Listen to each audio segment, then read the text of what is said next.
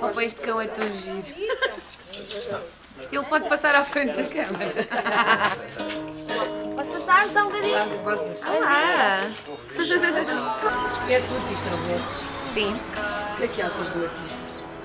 gosto imenso da voz dele, gosto imenso das letras, toca-se sozinho, tem uma. normalmente costuma ter uma guitarra e depois tem outros músicos também. Samuel Luria, estás convidado para vir aos meus sons, sou uma fã e gostava imenso que viesses cá. Agora vamos esperar pela tua resposta, não é? Se vais aceitar ou não o convite.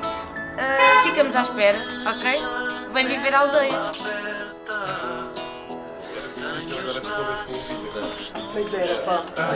Agora tens de responder com um Nos vídeo. comentários. Muito bem.